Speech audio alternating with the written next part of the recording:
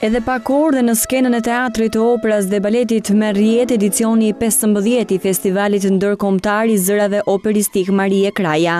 Për dy net me radhë, më datë 30 dhe 31 tetor, tingujt operistik do të jenë pjesë e rëndësishme dhe e pandashme e kryeqytetit. Ky festival do të sjellë në edicionin e tij të pesëmbëdhjetë, katërmbëdhjetë konkurrentë nga shtete të ndryshme të botës, Drejtoresha e festivalit, Marie Kraja, Zana Çela, tregon sfidat e këtij edicioni. Që vitin e kaluar ne futëm garën e këngës në kompeticion, madje i kemi caktuar dhe një çmim që është çmimi Song Prize, të cilin e përcakton Orkestra e Teatrit të Operës.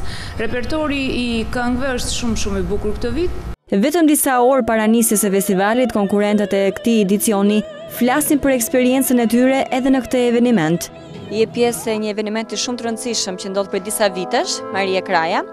Mua më thanë që sapo ke mbaruar studimet në Akademinë e Arteve. Çfarë do të thotë ky eveniment për ty? Është e vërtetë, këtë vit sapo u diplomova. Në fakt është privilegj për ne këtu në Shqipëri që një aktivitet i tillë, një festival i tillë, një konkurs në këto përmasa, zhvillohet pikërisht këtu.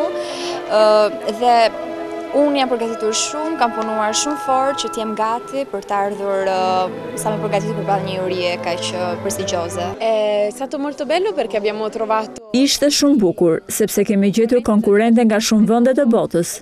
Është shumë bukur të punosh arie me orkestrën. Njoha dhe Shqipërinë, që më ka pëlqyer shumë. Uroj që ky eveniment të më ndihmojë në rrugën time, sepse ka një juri me personazhe të njohura në mbarë botën.